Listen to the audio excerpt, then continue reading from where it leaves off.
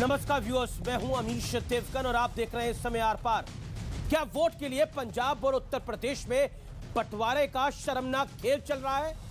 प्रियंका वाड्रा गांधी, या फिर कहें, खुद को यूपी की बेटी बताती है, लेकिन पंजाब के सीएम चरणजीत सिंह चन्नी जब ये कहते हैं कि यूपी, बिहार के भैये, यानी भैया जो पंजाब में आकर राज करना चाहते हैं, उन्हें हम घुसने नहीं देंगे तब वो कुछ नहीं कहते। उत्तर प्रदेश के लोगों का अपमान होता है।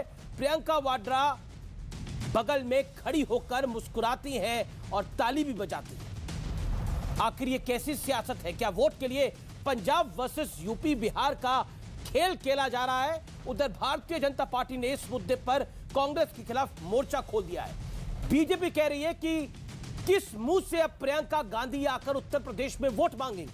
अनुराग ठाकुर ने यह ट्वीट किया। जिस यूपी ने गांधी परिवार को सिर आँखों पर बिठाया, प्रधानमंत्री तक पहुँचाया। ये लोग उसी यूपी की जनता को बदनाम करते हैं, ऐसा बीजेपी कह रही है। बीजेपी ये भी कह रही है कि यूपी और बिहार की जनता कांग्रेस को इस अपमान का करारा जवाब देगी वक्त आने पर। लेकिन सवाल है कि वोट के लिए राज्यों का बंटवारा करना क्या जायज़ है? क्योंकि कुछ दिनों पहले सदन में भी राहुल गांधी ने खड़े होकर यही बात कही थी कि भारत जो है, वो एक देश नहीं है, बल्कि स्टेट्स का समूह है, राज्यों का समूह है तो मतलब क्या है? आज इसी पर होगी देश की सबसे बड़ी बहस, वोट के लिए यूपी और बिहार का अपमान।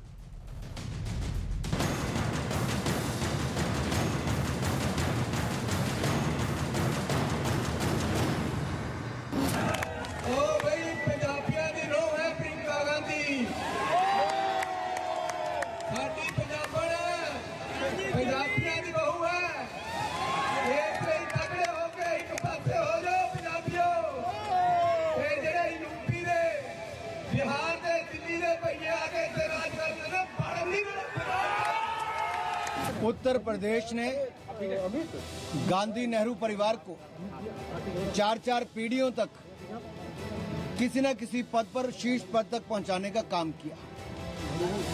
लेकिन मौका देखते ही गांधी परिवार के सदस्य उत्तर प्रदेश को अपमानित करने से पीछे नहीं हटते हैं।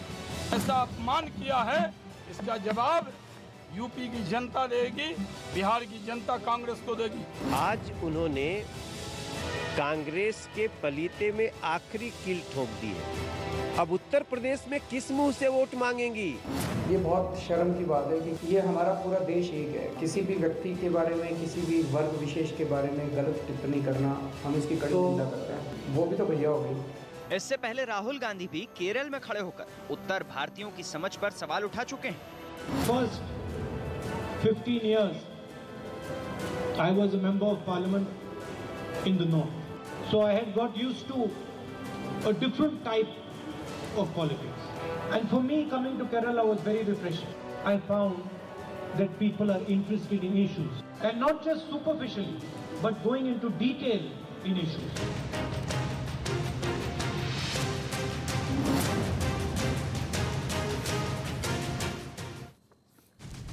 और अब विश्लेषण का वक्त है, वोट के लिए बंटवारा पॉलिटिक्स का विश्लेषण सुनिए। चरणजीत सिंह चन्नी 15 फरवरी 2022 को कहते हैं, यूपी, बिहार के भैया जो पंजाब में आकर राज करना चाहते हैं, मैं उन्हें घुसने नहीं दूँगा। यानी क्लियर कट उत्तर प्रदेश और बिहार के लोगों का अपमान। राहुल गांधी, फरवरी 2021 उत्तर भारत में मुझे अलग किस्म की राजनीति की आदत हो गई थी।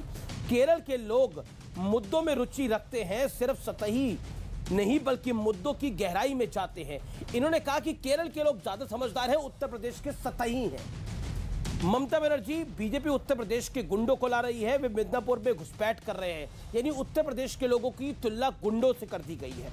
और ये ममता बनर्जी, अखिलेश जी को समर्थन भी दे रही है। बड़ा सवाल यह है, फूट डालकर राज करने का खेल चल रहा है क्या? ये बड़ा सवाल मैं आज आर पार में उठाता हूँ। मेरे साथ बात करने के लिए इस समय जुड़ रहे हैं सुधांशु त्रिवेदी इस चर्चा में मेरे साथ संजीव झा हैं। आम आदमी पार्टी के Sudhanshu Trivedi member of parliament Bharatiya Janata party के और प्रवक्ता भी हैं। मेरे साथ अर्शप्रीत खड़ियाल है, प्रवक्ता है कांग्रेस पार्टी के, पंजाब से जुड़ रहे हैं। उनका भी अभिनंदन है। अर्शप्रीत खड़ियाल, मैं आपसे जानना चाहता हूँ, मेरा सवाल बहुत सीधा है। पंजाब में आपको वोट चाहिए तो उत्तर प्रदेश और बिहार के लोगों को गाली निकालेंगे क्या? ताली बजाएँगे उनकी गाली पर?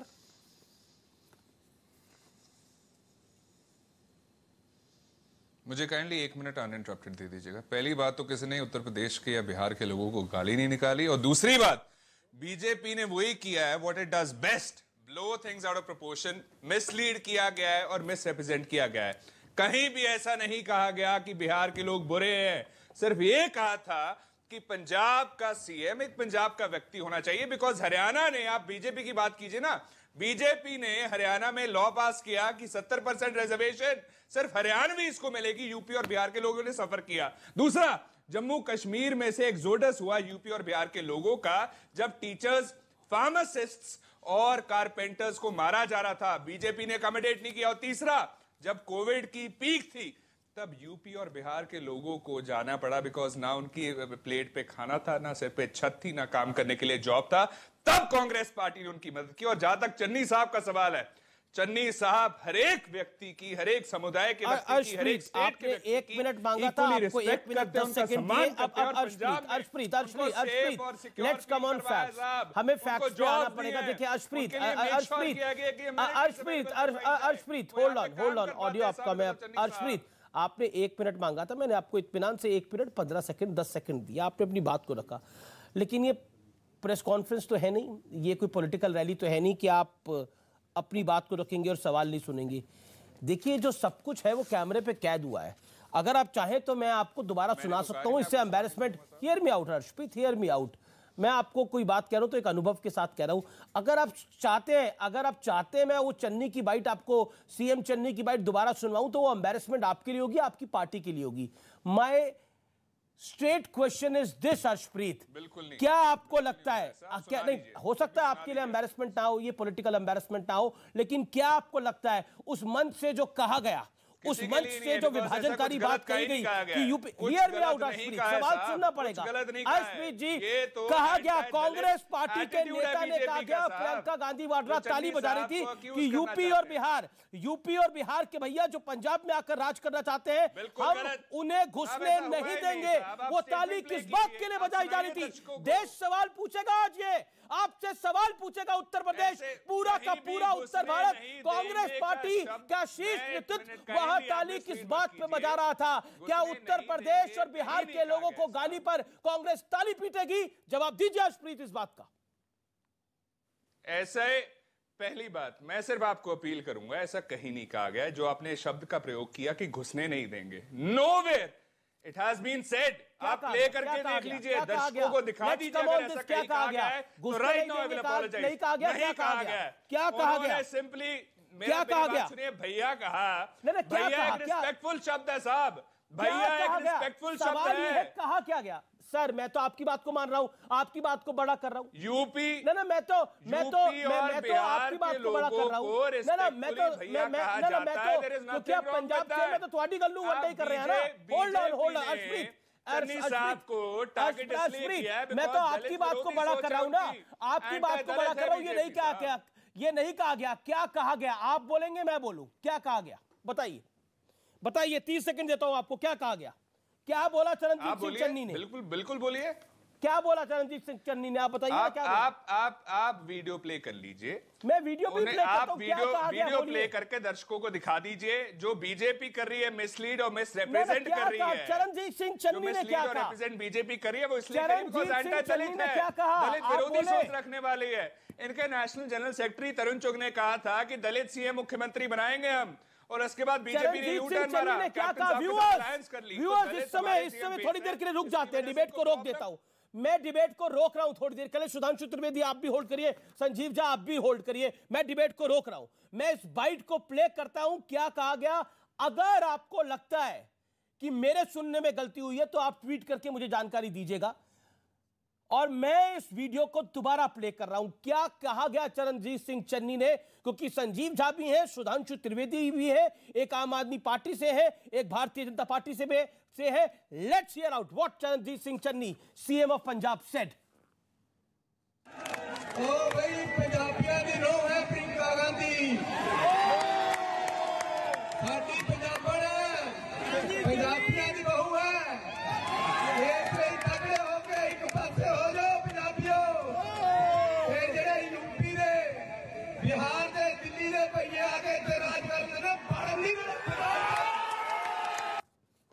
ये जो यूपी और बिहार के भैया आते हैं और दिल्ली के भी भैया आते हैं उन्हें घुसने नहीं देंगे।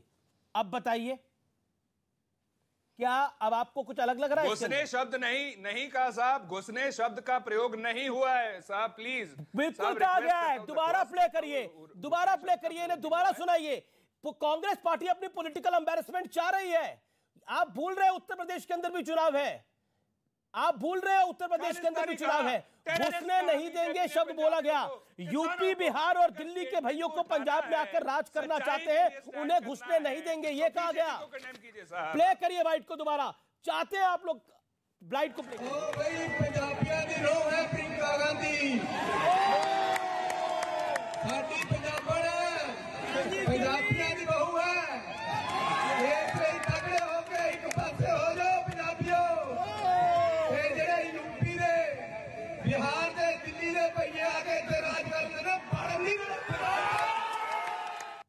ये जो यूपी और बिहार के भैया आते हैं उन्हें घुसने नहीं देंगे ये कहा कहीं भी शब्द का प्रयोग नहीं हुआ है घुसने नहीं देंगे। आपने फिर सुना दी साहब ये तो आप खुद को एम्बेरस कर रहे हैं महाराज।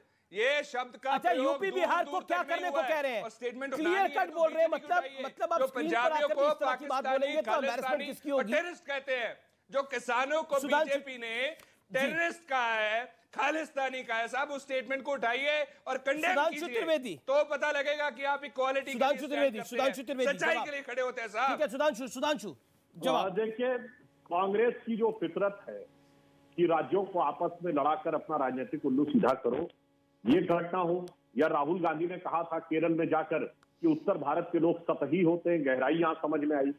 याद करिए शीला दीक्षित ने कहा था दिल्ली में कि सारी समस्या तो यूपी बिहार वालों की वजह से हो रही है। और जिस समय महाराष्ट्र में उत्तर प्रदेश, बिहार वाले लोगों के साथ हिंसा हुई थी, उस समय महाराष्ट्र में किसकी सरकार थी? विलास राव देशमुख के नेतृत्व में कांग्रेस की सरकार थी। अब ये चारों घटनाओं को जोड़ के देख लीजिए, उसके बाद स्थिति स्पष्ट हो जाएगी। और पीछे एक और बात का जवाब दे दीजिए। जब हम लोगों ने कहा था कि प्रियंका गांधी उत्तर प्रदेश में करेंगे कि 40 प्रतिशत सीट देंगी तो हम लोगों ने कहा था, भाई, पंजाब में भी तो देख के दिखाओ। तो क्या जवाब देते थे आप लोग? कि नहीं, वो तो सिर्फ़ यूपी की इंचार्ज है तो यूपी के बारे में बात करो। अब ये पंजाब में क्या बात करने गई? पहली बात इसका जवाब दीजिए। दूसरा, जब प्रधानमंत्री की सुरक्षा का विषय आता है तो चन्नी जो है, प्रियंका गांधी को ब्रीफ करेंगे और उनसे ब्रीफिंग दे लेंगी। मगर जब महिलाओं को पंजाब में स्थान देने की बात आएगी तो मैं यूपी की हूँ।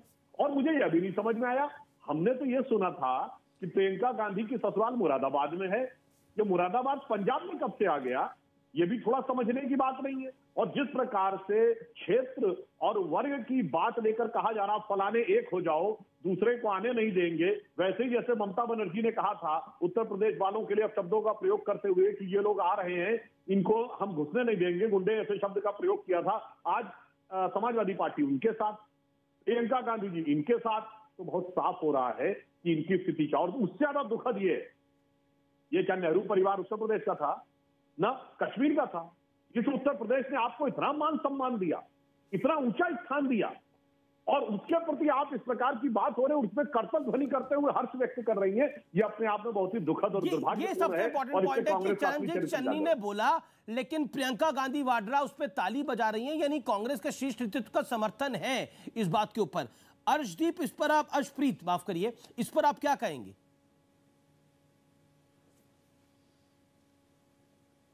देखिए, पहली बात तो इनको समझना पड़ेगा कि स्टेटमेंट ये है कि वो यूपी की बेटी हैं और पंजाब की बहू, ये स्टेटमेंट है। He should get his fact straight और दूसरी बात ये दलित विरोधी सरकार है जो बीजेपी की है। इनके हजम नहीं हो रही कि क्यों एक दलित सीएम फेस कांग्रेस ने पंजाब में दिया बिकॉज़ इनके नेशनल जनरल सेक्रेटरी जो है, तरुण चुग साहब, उनका बयान उठा के देख लीजिए। उन्होंने क्लियरली कहा था कि पंजाब में एक दलित सीएम फेस देंगे और बाद में इन्होंने 360 डिग्री का यू टर्न मारा और कैप्टन साहब के साथ अलायंस कर ली साहब। इनसे पूछिए, अगर आज भी उस स्टैंड पे कायम है कि नहीं दलित कार्ड खेलना चाहते थे, कि नहीं इन्होंने यू टर्न मारा? और तीसरी बात साहब बीजेपी ने किसानों को टेररिस्ट कहा, इन्होंने पंजाबियों को टेररिस्ट और खालिस्तानी कहा, इनके स्पोक्स पर्सन ने कहा, और सिद्धांशु त्रिवेदी साहब को इस चीज़ की माफ़ी मांगनी चाहिए। और हमारे, हमें कंडेम करने से पहले, जरा अपने गरिमान में तो झाँक के देख लें साहब। इंश्योर करती हवाओं से कह दीजिए कि हमने बड़े तूफानों का आना जाना देखा है। आप जरा आईने में अपनी शक्ल देखिए।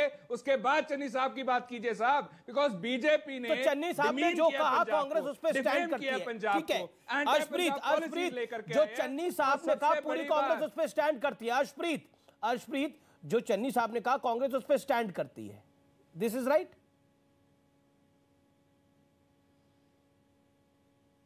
चन्नी साहब ने आप स्टेटमेंट बोलिए स्टेटमेंट बोलिए बिल्कुल कांग्रेस जो जो जो भी जो भी चन्नी साहब ने कहा आप कह रहे हैं ना उन्होंने सही कहा। मैं पूछो चन्नी साहब ने जो कहा कांग्रेस उस पर स्टैंड करती है। यू सेड बिल्कुल मैं तो ये भी कहता हूँ कि बीजेपी भी स्पष्ट कर दे जो इन्होंने बिल्कुल बिल्कुल नहीं आगे। चन्नी साहब ने सही कहा? ना चन्नी साहब ने सही कहा? और एक चन्नी साहब ने यूपी और बिहार के लोगों के बारे में जो कहा कांग्रेस प्रवक्ता मान रहे हैं कि सही कहा। यही कह रहे हैं और बार बार बोलेंगे आप ये चीज़। वर्दी पहना एक सेकंड अर्शप्रीत अर्शप्रीत अर्शप्रीत ऐसे ऐसे तो ऐसे चर्चा नहीं हो पाएगी ऐसे चर्चा नहीं हो पाएगी। देखिए सवाल होता है जवाब होता है। अर्शप्रीत मेरा निवेदन को स्वीकार करिए ना। मैं humble request Arshpreet Arshpreet Arshpreet hold on hold on ऐसे चर्चा नहीं हो पाएगी। अर्शप्रीत खड़ियाल साहब ऐसे चर्चा नहीं हो पाएगी। आप कह रहे हैं कि जो चरणजीत सिंह चन्नी ने बोला कांग्रेस पार्टी उस पर स्टैंड करती है और आगे वक्त आएगा तो यही बात बोली जाएगी। यही सही बात है? दोबारा बोली जाएगी। मैं आपको कह रहा हूँ कि बीजेपी मिसलीड और बीजेपी कर रही है। बीजेपी की तो कहानी नहीं है ना ये? बीजेपी की तो कहानी नहीं है। ना ना मैं तो तोड़ मरोड़ने की बात नहीं कर रहा। मैं तो तोड़ और मरोड़ने की बात नहीं कर रहा। मैं तो सीधा सवाल पूछ रहा हूँ। चरणजीत सिंह चन्नी ने जो अर्शप्रीत इतना। इतना इतनी तो जलेबी बनाने की आवश्यकता ही नहीं है तो अर्शप्रीत। बात को खत्म कर दीजिए ना। तो आप बोल दीजिए जो बात चरणजीत सिंह चन्नी ने बोली इतनी जलेबी बनाने की ज़रूरत ही नहीं है। है। बिल्कुल बनाने की ज़रूरत नहीं है अरे इतना सरल सवाल है। साहब का इससे बयान इतना उठा रहे हैं, इतना सरल सवाल मैंने किसी से आज तक नहीं पूछा आपसे पूछ रहा हूँ। बीजेपी जो बात चरणजीत सिंह चन्नी ने बोली पंजाब की बात करती है और आगे भी उसको रिपीट करेगी। सही है ये बात? साहब बीजेपी को मैं सिर्फ़ एक चीज़ पूछता हूँ कि पंजाब को टेररिस्ट कहना पंजाबियों को खालिस्तानी कहना क्या ठीक है? ये गलत नहीं है। हो गए और मेजर जनरल यश मोर जो रिटायर्ड है उनका बयान है हर एक जवान पहना हुआ है। मैं आपसे कितना गालियाँ कित- निकाली। कितना सरल सवाल पूछ रहा हूँ लेकिन सुधांशु त्रिवेदी आपको बीच में आना पड़ेगा। सुधांशु त्रिवेदी सुधांशु त्रिवेदी वो कह रहे बीजेपी को जवाब देना चाहिए। ये हालाँकि एक बिल्कुल नया युग है जिसके अंदर काम कोई कर रहा है लेकिन जवाब भारतीय जनता पार्टी को देना पड़ेगा। कांग्रेस पार्टी के नेता ने सीएम ने बयान दिया प्रियंका गांधी ताली बजा रही थी लेकिन जवाब सुधांशु त्रिवेदी आपको देना पड़ेगा। जवाब हाँ, देखिए। अमित जी जो कुछ आज स्थिति है जो गति और दुर्गति है कांग्रेस की इस परिस्थिति में उसके ऊपर पहले मैं एक पंक्ति कह के तब बात शुरू करूँगा। रहीम दास जी का दोहा है कि बिगड़ी बात बने नहीं लाख करो किनकोए रहीमन बिगड़े दूध को मथे न माखन होए। तो अब दूध फट गया, उसके बाद ये मसने में लगे हैं तो मक्खन नहीं निकलने वाला। अब मैं ये बात कहना चाहता हूँ फैक्ट के रूप में आईना दिखाना चाहता हूँ। पहली बात, इनको, किसानों को सबसे पहले खालिस्तानी किसने कहा? रणवीर सिंह बिट्टू, जो कि कांग्रेस पार्टी के सांसद हैं, उन्होंने कहा।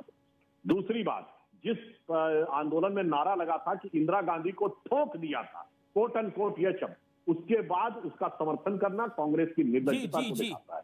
तीसरी बात इन्होंने बार बार दलित सीएम दलित सीएम की बात करते हैं। मैं पूछना चाहता हूँ असीफ जी से गुरु नानक ने क्या कहा था? अव्वल अर्राद नूर उपाया कुदरत के सब बंदे एक नूर दे सब जग उपजा कौन भले को मंदे? सिख धर्म में कोई ऊँचा नीचा था? जब खालसा पंथ की स्थापना की गुरु गोविंद बिल्कुल ने नहीं बिल्कुल नहीं। गुरुओं ने। गुरुओं ने जब पंथ बनाया तो कोई दलित नहीं बनाया था। ये सियासत ने बना दिया। गुरु सिखों में दलित कभी सिखों में दलित नहीं हुआ। कौन कर रहा है? आईना देखिए। सिख धर्म की शिक्षाओं का अपमान गुरु नानक के विचार का अपमान गुरु गोविंद सिंह के अमृत चखाने का अपमान और डॉक्टर अंबेडकर ने जब संविधान बनाया था तो सिखों को मैं जवाब मैं जवाब में लूँगा। देखिए ने आपसे मैं जवाब लूँगा लेकिन मुझे संजीव झा के पास जाना पड़ेगा आम आदमी पार्टी के विधायक हैं। संजीव झा क्योंकि आप खुद बिहार से आते हैं आप खुद दिल्ली में विधायक हैं क्या आपको लगता है ये जो स्टेटमेंट है इसको तोड़ा मरोड़ा जा रहा है? क्या आपको लगता है जो बात बोली गई वो स्पष्ट नहीं है? संजीव झा मुझे लगता है कि चन्नी साहब ने जो आज स्टेटमेंट दिया वो बहुत घटिया स्टेटमेंट था।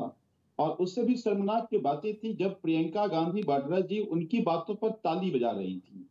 प्रियंका जी तो खुद यूपी से आती हैं। उनको तो कहना चाहिए था कि मैं यूपी से हूँ। ऐसा नहीं कहना चाहिए। या बाद में उनको माफ़ी मांग लेना चाहिए था।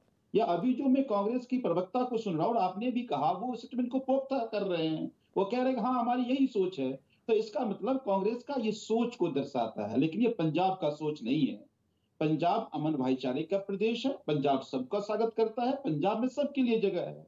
वही बिहार यूपी के लोग पंजाब के अगर पर कैपिटा इनकम बढ़ा है तो चाहे कारखाने में हो चाहे आ, खे, खेती किसानी हो सब में बाहर के लोगों ने योगदान दिया है सब में उत्तर प्रदेश के और बिहार के लोगों ने योगदान दिया है। अभी ये कह रहे हैं कि जो उत्तर प्रदेश और बिहार के लोगों को आप घुसने नहीं देंगे तो क्या इसका मतलब एक बात तो तय है कि अब पंजाब के पंजाब में इनके लिए उनके पास मुद्दे नहीं है। पंजाब के लोग अब इनको पसंद नहीं करते हैं। जिस तरह से पंजाब को कांग्रेसियों ने लूटा है जिस तरह से पंजाब को बर्बाद किया है अब लोग बदलाव के लिए वोट करना चाह रहे हैं नया पंजाब बनाने के लिए वोट कर रहा है।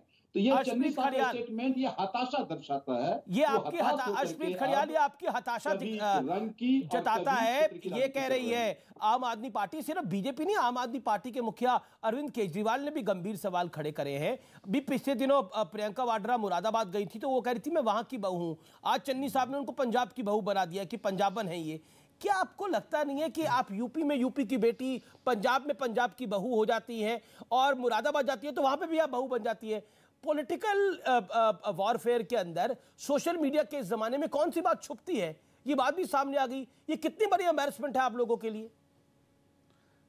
अर्शप्रीत जवाब पहली बात तो कोई एम्बेरसमेंट नहीं है साहब ये भावना है। साहब ये भावना है ये प्यार है। साहब ये भावना है ये प्यार है। और दूसरी बात जो बीजेपी के लोगों को मिलता नहीं है इस वजह से इसका मुद्दा बनाने की कोशिश कर रहे हैं। आपने केजरीवाल साहब की बात की अच्छा किया।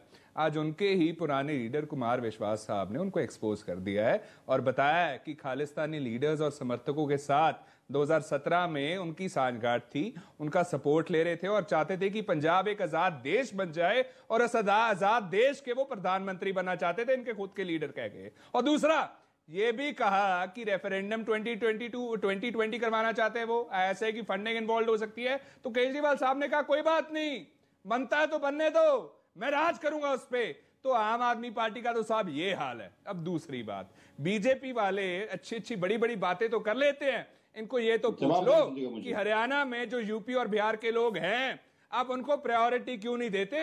उनको रोज़गार क्यों नहीं देते? आपने जो बिल पास बड़ा इल्ज़ाम दिखाया है कुमार विश्वास के हवाले से जवाब बनता है। ओके संजीव जा जवाब? की कोशिश की। देखिए तो मुझे लगता है एक बात यहाँ पे मैं आपको पंजाब की बात बता दूँ साहब। वो चन्नी साहब है अच्छा पंजाब कांग्रेस है। जिन्होंने यूपी और बिहार के लोगों को रोज़गार दिया उनको सेव तो गाली भी दे रही है ना कांग्रेस पार्टी ओके संजीव का जवाब। किया कि उनके संजीव का जवाब मुझे जॉब मिल सके उनके संजीव ठीक है मौका दीजिए ना उनको भी। संजीव को भी मौका दीजिए। संजीव संजीव अपनी बात को रखिए आप। अर्शप्रीत मुझे मुझे मुझे ये लगता है पार्टी नहीं खड़ी थी। कांग्रेस से तो हमें देशभक्ति की सर्टिफिकेट नहीं लेनी पड़ेगी। अभी पंजाब के प्रधान कांग्रेस के प्रधान कहते हैं इमरान खान मेरे बड़े भाई हैं हम जाके उनके गले लगते हैं।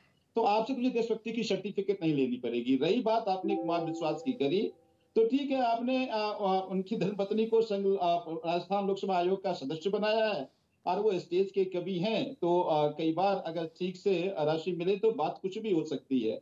मैं ये कह रहा हूँ कि अगर ये बात सच थी तो जब इनको कहा गया ये बर्दाश्त कैसे कर लिए? कोई भी देशभक्त बर्दाश्त नहीं करता। ये चुनाव के समय में बातें कैसे आ रही है? तो ये सब समझता है कि बातें कहाँ से आ रही है और कैसे आ रही है कैसे फैलाया जा रहा है। लेकिन मैं एक बात बता दूँ कि पंजाब के लोगों ने अब मन बना लिया है कि कांग्रेस को समूल नष्ट करना है, जो एक बड़ा ज़ीरो पहले दिल्ली में दिया था, अब बारी पंजाब की है। पंजाब के लोग आम आदमी पार्टी की सरकार बने, भगवंत मान यहाँ का सीएम बने, ये मन बनाकर बैठे हुए। और तभी मैंने आपको पहले कहा कि ये हताशा भरा बयान है जब ज़मीन खिसक रही है कभी कहते हैं केजरीवाल काले हैं कभी कभी कहते हैं कि जी हम बिहार यूपी अरे आप अगर मान लीजिए आप अरविंद केजरीवाल के विरोधी हैं अगर केजरीवाल जी को बिहार यूपी के लोग वोट करेंगे तो आप कहेंगे कि हम बिहार यूपी वालों को घुसने नहीं देंगे। जवाब ठीक है अर्शप्रीत अर्शप्रीत जवाब। अर्शप्रीत चालीस सेकंड में जवाब। वो कह रहे हैं आपकी हताशा है जो आप मैं जवाब देता हूँ साहब इनको बड़े स्पष्ट सवाल पूछे मैंने। साहब कुमार विश्वास इनके नेशनल एग्जीक्यूटिव के मेंबर रहे हैं इनके सीनियर लीडर रहे हैं। केजरीवाल साहब के नज़दीक ही रहे हैं उन्होंने स्पष्ट कर दिया। तो और सवाल पूछा सूर्जेवाला साहब ने कि आप क्या केजरीवाल साहब क्या आप चाहते हैं कि पंजाब के टुकड़े टुकड़े हो? आप चाहते हैं कि पंजाब अलग हो जाए? आप तो हिंदुस्तान को डिवाइड करना चाहते हैं। लगाओ। और क्या? इमरान खान को बड़े भाई बताओ। जो मोड़ में सब जानता है, आपसे certificate क्या आपका कोई रोल था जो हाल ही में पंजाब में के लोग जानते हैं। क्या आपका कोई उसमें कनेक्शन था? आपकी कोई इन्वॉल्वमेंट थी? बिकॉज़ आपके खुद के लीडर ने एक्सपोज किया है कि आप खालिस्तानी समर्थकों के साथ बातचीत कर रहे थे उनका सपोर्ट लेते के थे और जहाँ तक साहब इन्होंने सिद्धू साहब की बात की तो सिद्धू साहब की वजह से करतारपुर कॉरिडोर खुला लाखों करोड़ों सिखों की मन्नत पूरी हो सकी। और जहाँ तक मोदी साहब की बात है वहाँ पे आने ना पहुँचते हैं उनको जन्मदिन विश करते हैं उनके गले लगते हैं ठीक है, जवाब, जवाब, जवाब, ठीक है, सुधांशु त्रिवेदी जवाब, पठानकोट जवाब। होता है। जवान शहीद होते हैं। सुधांशु, तो सुधांशु जवाब। मोदी साहब वहाँ जाके देखिए उदित राज भी मेरे साथ जुड़े हुए तो- सुधांशु जी। गले लगते हैं नवाज़ शरीफ जी के पास देखिए अभी अर्शप्रीत ने दो तीन बातें बहुत आपत्तिजनक आवेश में बोल दी। इनका रिमाइंड करके देखिए, इन्होंने कहा, यूपी बिहार वालों को नौकरी दी। अब इनका लहजा देखिए, जैसे कोई खैरात बांट रहे थे। आपको कहना चाहिए था कि उत्तर प्रदेश के बिहार के लोगों ने भी आकर यहाँ की अर्थव्यवस्था में अपना बिल्कुल नहीं, गलत कह रहे हैं मिलकर एक बिल्कुल गलत कह रहे थे। बीजेपी हमने यूपी बिहार वालों को चुकी। नौकरी दी आप rewind Arshpreet let let let let BJP MP make his point करना अर्शप्रीत अपने टर्न पे बोलिए बीजेपी एमपी बीच में नहीं बोल रहे थे है बोल गए कि भाई करतारपुर कॉरिडोर सिद्धू की वजह से खुला। सिद्धू तो एक राज्य सरकार में मंत्री हैं भारतीय संविधान के अनुसार विदेश का विषय तो राज्य से कोई संबंध ही नहीं रखता है। तो ये सिद्धू ने कैसे खुलवा दिया ये बता दें? मतलब वो बाजवा का एहसान मान रहे हैं? शर्म आनी चाहिए कि वो पाकिस्तान का जनरल का एहसान है। वो तो मानते हैं सिद्धू। उसने हम पे खोल दिया। अब तीसरी बात मैं कहता हूँ देखिए पंजाब और उत्तर प्रदेश और बिहार का क्या गहरा आत्मीय आध्यात्मिक संबंध था उसको कैसे लांछित किया? आज ही चन्नी गए थे चन्नी साहब वाराणसी में संत रविदास जी के मंदिर पे मत्था टेकने संत रविदास कहाँ के थे? उत्तर प्रदेश के। खालसा पंथ के संस्थापक गुरु गोविंद सिंह जी कहाँ के थे? पटना के, बिहार के। तो भाई, ये बताइए, आपके श्रद्धा के दो दो केंद्र बिंदु जिस भूमि से आते हैं, उत्तर प्रदेश और बिहार, और उसके बारे में आप इस प्रकार की भाषा बोल रहे हैं, एक बार फिर पंजाब की महान परंपरा का अपमान है, जबकि हकीकत ये थी कि महाराजा रणजीत सिंह ने, जिन्होंने इतना बड़ा एम्पायर बनाया था स्वर्ण मंदिर पे जितना बड़ा छत्र चढ़वाया था, उतना ही बड़ा काशी विश्वनाथ पे स्वर्ण छत्र चढ़वाया था। बाद में वो मुगलों ने उसको वो लूट लिया, वो एक अलग बात थी। परंतु यह दर्शाता है कि कैसा सम्मान और आत्मीय संबंध था, और यह दर्शाता है चंद वोटों के लिए कितना घटिया स्तर तक जाकर एक दूसरे को लड़ाकर अपना राजनीतिक उल्लू सीधा करने का प्रयास हो रहा है। ये पंजाबियत, पंजाब की परंपरा, सिख धर्म की परंपरा, सिख धर्म की मान्यताओं, सबका उपहास उड़ा दो, सबकी धज्जियाँ उड़ा दो कि किसी तरीके से हमें एक राज्य में सत्ता मिल जाए। ओके मैं उदित राज मेरे साथ कांग्रेस के वरिष्ठ नेता जुड़े हुए हैं उनका मैं रुख करता हूँ। उदित जी हालाँकि आपका वीडियो उतना क्लियर नहीं आ रहा लेकिन फिर भी मैं आपके पास जाना चाहता हूँ। आज तो आप दुखी होंगे प्रियंका गांधी ने जिस विषय पर ताली बजा दी चरणजीत सिंह चन्नी ने जो बात कही उस पर आप दुखी होंगे या फिर आप खुश हैं कि ठीक बयान दिया आगे भी देना चाहिए? नहीं देखिए ऐसा है कि सबसे पहले तो उदित राज। मेरा आग्रह सबसे पहले मेरा आग्रह यह है कि तीन लोगों से कई बार आपस में बातचीत कराया और मैं चौथा बैठा देख रहा हूँ इतने देर से। चलो इतने देर से सही। जब आपको बुलवाना नहीं होता तो न बुलाया करे। चलिए आपके प्रश्न पर मैं आता हूँ। चन्नी आपका जी वीडियो ने ठीक नहीं आ रहा था उदित जी। आपका वीडियो ठीक नहीं आ रहा था लगातार खराब आ रहा था ऑडियो भी गड़बड़ा रहा था। नहीं ऐसा ऐसा कुछ नहीं है। चलिए मैं जवाब देता हूँ आपको। जो चन्नी जी ने कहा वो अरविंद केजरीवाल जी की तरफ़ इशारा था। अरविंद केजरीवाल जी ने दो तीन दिन पहले ही कहा था कि हिंदू यहाँ पर असुरक्षित महसूस करता है। तो डिबेट उस पर होना चाहिए। चन्नी जी ने जो कहा कि यहाँ पर जो अरविंद केजरीवाल जी दिल्ली के लोग, यूपी बिहार के लोगों को अपना प्रचार के लिए यहाँ ले आ रहे हैं। कहाँ से पैसा आ रहा है, कहाँ नहीं है, उनके बारे में कहा था। और ये बात सच है कि अरविंद केजरीवाल जी मोदी जी के स्टाइल पर, मोदी जी जब जाते हैं अमेरिका तो यहाँ से पहले लोग टिकट कटा के पहुँच जाते हैं। मोदी मोदी मोदी करते हैं। वही स्टाइल इस समय अरविंद केजरीवाल जी ने अपनाया था। इस बात, इसको चन्नी जी ने कहा था। दूसरी बात है कि बीजेपी ने कहा था कि दलित मुख्यमंत्री होना चाहिए। तो पर सिखों में दलित कहा होता है उदित जी? उदित जी सिखों में दलित कहा होता है? गुरु ने जब पद बनाया था तो दलित कहाँ बनाया था? तो नहीं। बिल्कुल अरे क्या आप आप अरे आपका ज्ञान कितना कम है भाई? सिखों में शेड्यूल कास्ट शेड्यूल ट्राइब होते हैं रिजर्वेशन होता है रिज़र्व सीटें हैं। पर गुरु ने जब पंथ को बनाया था तो क्या दलित बनाया था? गुरु ने जब पंथ को बनाया था तो सिखों में दलित बनाया था क्या? क्या बात क्या बात करते हो? रिज़र्व सीटें नहीं है सुरक्षित सीटें यहाँ पर नहीं है। अरे सुरक्षित सीटें होंगी वो तो इंसानों ने बनाई है ना? मैं गुरु की बात कर रहा हूँ। क्या बचपना वाली बात आप करते हैं भाई? ये जाति तो है ही है यहाँ पर मजहबी है मतलब सिखों में भी जाति आप कह रहे हैं? अरे कौन कहता है यार आप सिखों पढ़ लीजिए नहीं सिखों को भी आप जाति में बांटना चाहते हैं उदित राज जी। आप सिखों को भी जाति में बांटना चाहते हैं। जहाँ जात होती नहीं है। आप संविधान का अपमान कर रहे हैं। अरे संविधान की बात नहीं है। ये ये गुरु की बात है। मैं आपसे पूछ रहा हूँ सिखों में कौन सी जाति होती है? सिखों में कौन सी जाति होती है? पहले हिंदुओं को जाति में बांट दिया अब सिखों को जाति में बांटना चाहते हो आप लोग? बीजेपी से सुपर प्रवक्ता बनना चाहते तो बीजेपी ने क्यों मैं मैं देश का प्रवक्ता हूँ और देश का ही प्रवक्ता रहना चाहता हूँ। मैं माँ भारती की बात करता हूँ। हिंदुओं को तो जात में बांट दिया। हिंदुओं को सैनी मौर्य जाट ब्राह्मण गुजर और कुछ बचा है। दलित ओबीसी शेड्यूल ट्राइब सब में तो बांट दिया। अब सिखों को भी इसी जात में बांटना चाहती है कांग्रेस पार्टी। आप ना आप मुझे बताइए जब गुरु ने पंथ को बनाया उदित राज जी मेरा निवेदन आपसे ये है सवाल ये है। क्या करते हो भाई? जब गुरुओं ने पंथ को बनाया तो कौन सी जात होती थी? सिखों में कौन सी जात होती थी बताइए ना। ये आ, आप एंकर की तरह बिहेव कर रहे हैं एंकर की तरह ही सवाल कर रहा हूँ। फैक्ट्स पे जी फैक्ट्स पे सवाल कर रहा हूँ मैं। उदित जी फैक्ट्स पे सवाल कर रहा हूँ मैं। अरे भाई जवाब तो लो। हाँ बिल्कुल दीजिए। तो पहले ले लो। बताइए। अरे भाई जो सुरक्षित सीटें हैं शेड्यूल कास्ट के लिए ये जाति जाति नहीं है तो क्या है भाई? दूसरी बत्तीस परसेंट दलित का यहाँ पर ये सर्वे सेंसस में ये जाति नहीं है तो क्या है भाई? बीजेपी ने पहले कहा था कि दलित मुख्यमंत्री बनाए मैं आपसे सवाल पूछा हूँ जब गुरुओं ने पंथ को बनाया तो क्या भाई आप छोड़ो यार। आप जो सच्चाई धरातल की उससे बात करो। ठीक है। आज धर, आज चुनाव हो रहा है। ठीक है सुधांशु त्रिवेदी बीजेपी के बीजेपी के सांसद सुधांशु चतुर्वेदी जवाब देना चाहते हैं वो कुछ कहना चाहते हैं। मैं देखिए जो बात उदित राज जी कह रहे हैं। उदित राज सुनिए उदित राज सुन लीजिए उदित जी सुन लीजिए। उदित राज जी यही समस्या है भारतीय संस्कृति का इतना होता है। चालीस पचास सेकंड बोलेंगे सुधांशु त्रिवेदी फिर आप बोलिएगा।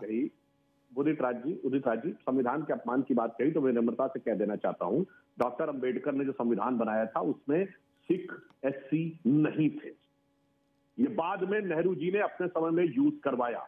और आप मेरी जानकारी के अनुसार आप तो स्वयं बौद्ध मत को मानने वाले हैं। वो तो समानता की बात करते उसमें एससी नहीं होते। नहीं ये वीपी सिंह ने उन्नीस सौ नब्बे में एक्ट किया।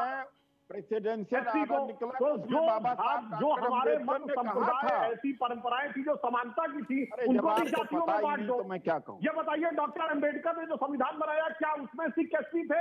नहीं थे। डॉक्टर अंबेडकर के बनाए संविधान का अपमान हुआ। ये नेहरू के जमाने में ऐड हुए। और बौद्धों को एसटी में ऐड किया विश्वनाथ प्रताप सिंह ने उन्नीस सौ नब्बे में। तो जो समानता के आंदोलन थे उसमें भी जातिगत विखंडन पैदा करने का एक गंभीर मामला है। उदित जी आप वरिष्ठ व्यक्ति हैं। आप आईआरएस ऑफिसर रहे हैं आप लंबे दलित चिंतक रहे हैं। ये देश के ये राजनीति से ऊपर उठने की बात है। इसलिए जब आप सिख में दलित सिख में दलित सिख में दलित कहते हैं तो गुरु नानक से लेकर गुरु गोविंद सिंह जी ने पंच पारों को पाँच अमृत चखाया था पाँचों अलग अलग जाति के थे ना। खत्री नाई खजी जीवर और पाँचों अलग अलग राज्यों के थे। एक लाहौर के थे एक मेरठ के थे एक पुरी के थे एक बीदर के थे एक शायद नासिक के थे। कहीं उन्होंने ना क्षेत्रवाद किया था ना जातिवाद किया था। मगर आज पंजाबी वर्सेज यूपी आज दलित वर्सेज सवर्ण क्या कर रहे हैं सिख धर्म के अंदर आप? मैं कोई गलत बात कर रहा हूँ कोई व्यक्ति जाकर आज चेक कर सकता है। आज के जमाने में फैक्ट छुपाना आसान नहीं है कोई जाके चेक कर ले। ये सुधांशु जी को लगता है मैं पॉलिटिकल साइंस का स्टूडेंट हुआ हो सकता है इसके वजह से पकड़ाने में आ गए हूँ। 1950 में जो प्रेसिडेंशियल ऑर्डर आया निकला हुआ था कि जो सिख शेड्यूल कास्ट है, उन्हें रिजर्वेशन का लाभ देना चाहिए। उसमें बाबा डॉक्टर बाबा साहब डॉक्टर अंबेडकर की सहमति थी, एक बात। दूसरी बात है कि संविधान, ये इवाल्व होता है। बहुत सारी चीज़ें संविधान में नहीं थी। हिंदू कोड बिल नहीं पास हो पाया था बाबा साहब के बाद में के इसीलिए बाद में पास हुआ। तो क्या बातें करते हैं बचपना जैसे? संविधान इवाल्व करता है डेवलप होता है चेंजेज होते रहते हैं। संविधान के हिसाब से क्या बच्चों की बात करते हो अरे भाई आप बच्चों की बात कर रहे हैं। क्या गुरु गोविंद सिंह के अनुसार जातियाँ थी? गुरु नानक गुरु गोविंद सिंह के अनुसार जातियाँ होनी चाहिए हाँ या ना? कम कम भगवान के अनुसार जातियाँ होनी चाहिए नहीं बोलिए हाँ या ना? We are your हाँ, politics. and यही बात है। धर्म कांग्रेस नेता ने बोला हम पॉलिटिक्स की बात करें। इसीलिए पॉलिटिक्स में हम जात को बांटना चाहते हैं। उदित राज उदित राज उदित राज एक थियोक्रेसी नहीं है। आ, उदित- उदित जी, उदित जी, उदित जी, उदित जी, एक सेकंड। उदित जी, उदित जी। डेमोक्रेसी है। उदित जी बिल्कुल डेमोक्रेसी है और डेमोक्रेसी में सब अपनी बात को रख सकते हैं। लेकिन आज आपने बहुत सही बात बोली। आपने बोला देखिए गुरु ने तो नहीं बनाया था। आपने भी माना कि गुरु ने तो पंथ में कोई जात बिरादरी नहीं बनाया था लेकिन पॉलिटिक्स की वजह से हमने करा ऐसा और पॉलिटिक्स में ऐसा होता है। तो पॉलिटिक्स की वजह से ही पंजाब में रह के यूपी और बिहार के भाइयों को गाली दी गई। पॉलिटिक्स की वजह से ही ना ये बात तो स्पष्ट हो जाती है ना अब। आपने तो खुद कोई गाली नहीं दी गई है। ये अरविंद केजरीवाल जी पैसा दे के ढो ढो करके लोगों को लेकर के आते हैं प्रचार करने उनको बंद किया जाना चाहिए। ये सब लोभ लालच देकर के वहाँ से आते हैं। केजरीवाल जी, इतना झूठे व्यक्ति हैं कि कहते हैं कि चार दिन में 21 लाख मिस कॉल आए। अगर 15 सेकंड की दर से एक मिस कॉल का टाइम कैलकुलेट किया जाए तो बाईस तेईस हज़ार से नहीं होता। ये साइंटिफिक आपकी बात रखती है थोड़ी लेकिन उस पर जराए ले लेते हैं संजीव जाकी। यहाँ। इतना झूठा व्यक्ति इतना झूठा व्यक्ति चन्नी जी ने उनके लिए कहा था कि ऐसे जो भाड़े पर लाए जा रहे अरे हैं तो केजरीवाल को डायरेक्टली बोलते ना यूपी बिहार को क्यों लपेट दिया? तो केजरीवाल तो यूपी बिहार से है नहीं तो हरियाणा से केजरीवाल के डायरेक्टली नाम न लेना जो नाम लेना ज़रूरी है क्या? अरे कमाल की बात करते हैं संविधान नहीं नहीं नहीं केजरीवाल को आपको बोलना था तो अरविंद केजरीवाल को आप बोलते। अब आपको तो कुछ संजीव झा को बोलना होगा तो संजीव झा को बोलेंगे ना। ऐसा है कि केजरीवाल जी को बोले तो और अच्छा। वो जो अपने भाड़े के लोग ले आ रहे हैं उनको ठीक है दोनों संजीव झा खरीद करके ले भाड़े के लोग लेके आ रहे हैं अरविंद केजरीवाल। मुझे ये कह रहे हैं और और भी बड़ी सारी ऑब्जेक्टिव साथ में लगा रहे हैं। मुझे लगता है कि ये ये बहुत ये उदित उदित राज जी बहुत गंभीर आरोप लगा रहे हैं। मुझे लगता है ये भी अपमान है बिहार उत्तर प्रदेश के लोगों के बिहार उत्तर प्रदेश के लोग बिकाऊ नहीं है। और कई सुन लीजिए मेरी बात सुन लीजिए? उदित जी सुन लो सुन लो मेरी बात सुन लो। आपने आपने बोला। आपके बीच में नहीं बोला। बात सुनिए ना दो। 40 सेकंड सुन लीजिए इतने इतने हताश क्यों हो रहे हैं आप लोग? पूरी कांग्रेस हताश हो गई है पंजाब में। मैं कोई कोई अरविंद केजरीवाल बिहार उत्तर प्रदेश के लोगों को लेकर नहीं आए हैं। बिहार उत्तर प्रदेश के लोग रोजी रोटी की तलाश में पंजाब आए पंजाब के विकास में पंजाब के पर कैपिटा इनकम बनाने में बहुत बड़ा योगदान रहा और सब भाईचारे के साथ यहाँ लोग रह रहे हैं। यहाँ किसी तरह का फीलिंग नहीं है कि बिहार यूपी के लोग हैं पंजाब पंजाब सबका स्वागत करती है पंजाबियत सबको पसंद करती है। अब आप नफरत के बीच यहाँ बोल रहे हैं क्योंकि आप हताश हैं। आपकी पंजाब की भी ज़मीन खिसक गई है आपकी आपकी लूट एक्सपोज हो गई है। आपने जो पंजाब को बर्बाद किया अब पंजाब बदलाव के लिए तैयार है। तो अपनी जवाब हताशा में जवाब- आप ये आरोप बिहार के लोग बताइए बिहार के लोग बिकाऊ नहीं है। उत्तर प्रदेश के लोग बिकाऊ नहीं है। माफ़ कीजिए मैं बिहारी हूँ और गर्व है कि मैं बिहारी हूँ। किसी बिहारी पर ऐसे करने ऐसी बात बोलने की हिम्मत ना रखिए आप। बिहार के लोग स्वाभिमानी है। उत्तर तो प्रदेश के लोग स्वाभिमानी है। अरे सुन तो लीजिए। इस तरह की हल्की बातें ना करें जी आप। अरे आप सुन लीजिए मेरी मैं भी यूपी बिहार का हूँ। तो आपको भी तो गाली कहीं का आप हो सकते नहीं, हैं। एक- आप, आप अरे भाई, हो हैं कांग्रेस की सोच ये चुप हो जाए ना आप अमीर जी आप चाहते कि सही डिस्कशन हो ये चुप हो जाए मैं अब बीच में ठीक है इनके संजीव बीच में ठीक है संजीव बोला। झा चुप है लेकिन उदित राज जी आपने तो खुद बोला मैं यूपी का बिहार का हूँ तो ये तो आपको भी अरे गाली पड़ रही थी और उस पर ताली अरे बज रही थी। मेरी अरे तो मेरा तो आपको भी हुआ होगा। अरे आप तो रोए तो नहीं थे आप जाकर? अरे आप सुन तो लीजिए भाई इसलिए मुझे बिल्कुल दुख नहीं हुआ मुझे खुशी हुई कि चन्नी जी ने ये जो लोगों को पैसा दे ट्विटर पे ट्विटर पर आपके आपके ट्विटर पर इस समय हमें बोलने नहीं दे मैं मैं आपको बोलने दे रहा हूँ उदित राज जी आपकी बड़ी फ़ैन। फॉलोइंग है। अरे उदित जी आपकी बड़ी फ़ैन फॉलोइंग है ट्विटर पे। मुझे एक एक व्यक्ति ने ट्वीट करके बोला कि उदित जी रो रहे थे जब ये बात बोली गई। कुछ भी कर सकता है कोई न्यूसेंस हो गया ये तो मतलब है कि ये तो व्हाट्सएप यूनिवर्सिटी ट्विटर में कोई कुछ लिख दे अलग बात है लेकिन भाई अब मेरे दोस्त? देखिए मैं- मैं- अच्छा सुधांशु त्रिवेदी जी का मैं बड़ा इज़्ज़त करता हूँ he is intellectually very sound person and he is an intellectual. I just want one question is that what happened to the promise of uh, making a chief minister or projecting a Dalit as a chief minister in Punjab? क्या हुआ? दलित प्रेम खत्म हो गया है क्या इनका? पंजाब में मुख्यमंत्री देने वाले थे दलित का। विजय सापला जी का इस्तीफा दिला दिया। उन्हीं को डिक्लेयर कर दिए होते कम से कम।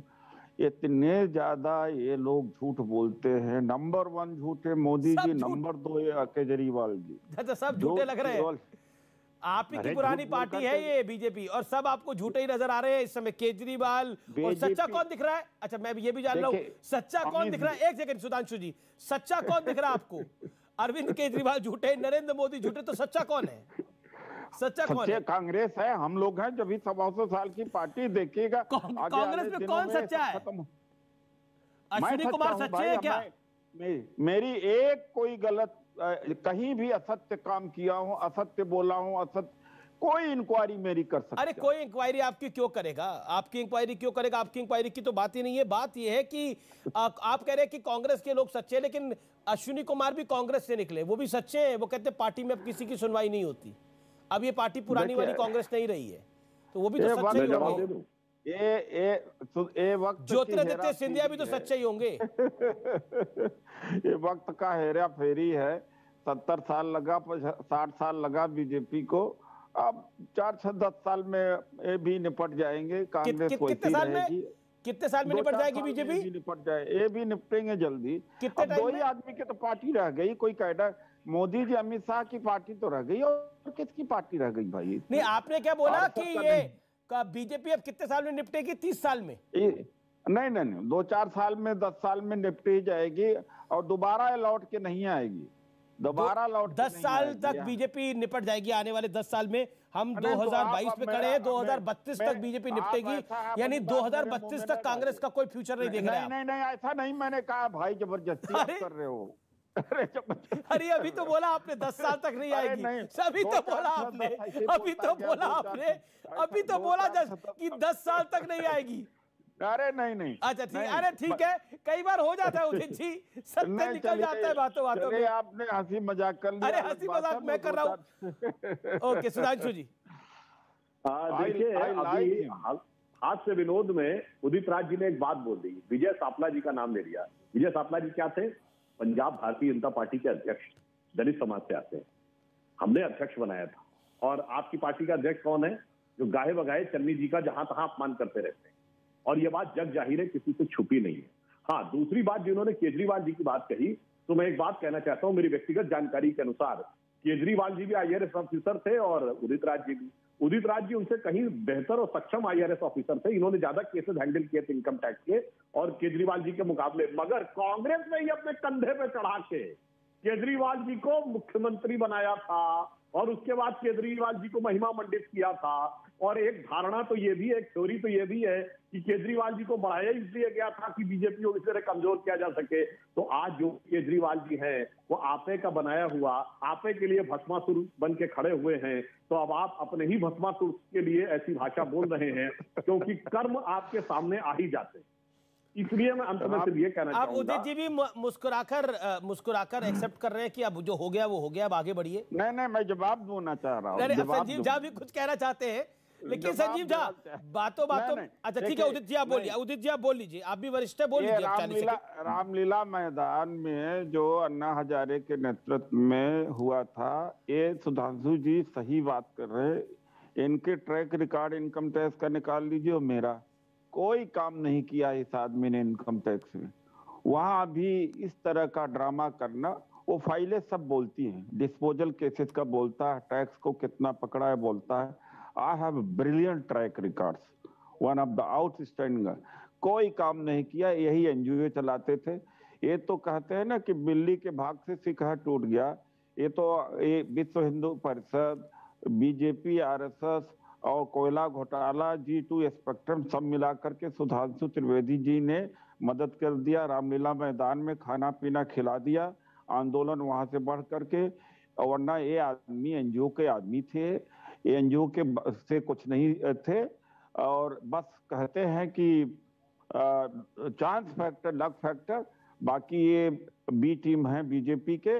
और ये आप, इनके बस का था कि रामलीला मैदान में क्राउड को इतने दिनों तक, नौ दिनों तक खाना खिलाना, क्राउड देना, आदमी देना, इनके बस का था। इनके बस का तो सौका नहीं था। ये हमारे दोस्त सुधांशु जी के साथियों ने ये सब बनाया था।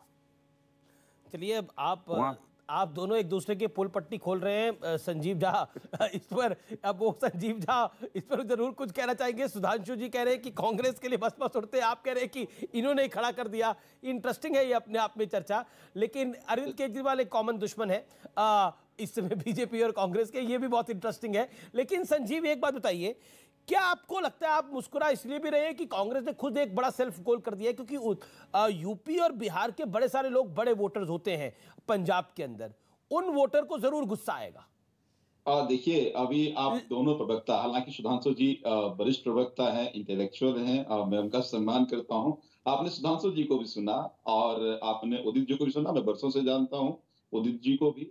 आप देखिए इन दोनों को आप अगर कोई दर्शक सुन रहा होगा समझ में आ गया होगा कि इन दोनों को समझने में गलती हुई कि ईमानदार आदमी से हम टकरा रहे हैं। और जब वो ईमानदार आदमी सामने आया तो दोनों अब धराशायी हो रहे हैं। और सुधांशु जी, जी कह रहे हैं कि सुधांशु जी कह रहे हैं कि कांग्रेस ने बढ़ाया और और उदित जी कह रहे हैं नहीं बीजेपी ने बढ़ाया। तो एक बात आप समझिए कि जो अभी उदित जी कह रहे थे कि वो एनजीओ चला रहे थे मतलब ये है कि एक व्यक्ति आईआईटी और आईआरएस की नौकरी छोड़ करके देश सेवा के लिए एनजीओ का काम शुरू किया और करप्शन भ्रष्टाचार के खिलाफ लड़ा। और उसके बाद जितने भी वरिष्ठ लोग हैं, उनका आज नींद हराम है, चाहे वो इस पाले के लोग हों या उस पाले के लोग हों। आप साबित करते रह जाइए कि अरविंद केजरीवाल किस टीम के लोग हैं? आपके टीम के हैं या आपके टीम के हैं? अरविंद केजरीवाल इस देश के निर्माण का प्रण लिया है और जो दिल्ली में उन्होंने दिल्ली मॉडल इजाद किया उससे राष्ट्र मज़बूत हो जी जी। बहुत बहुत शुक्रिया। बहुत बहुत शुक्रिया। मेरे पास समय फ़िलहाल इतना ही है। आ, मैं माफ़ी चाहता हूँ। आखिर में आपके पास अशप्रीत नहीं आ पाऊँगा। लेकिन फ़िलहाल आर पार को यही क्लोज करते हैं। लेकिन आज की चर्चा का निष्कर्ष यही है कि वोट के नाम पर हमने देखा कई बार जातियों में बांटते हुए लेकिन प्रदेशों में बांटते हुए ये इंसिडेंट पहली बार है। लेकिन ये देश के लिए भारतवर्ष के लिए सही नहीं है। नमस्कार।